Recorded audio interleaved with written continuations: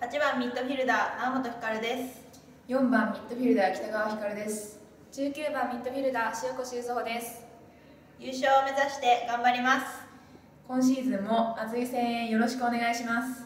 ぜひ浦和駒場スタジアムにお越しください。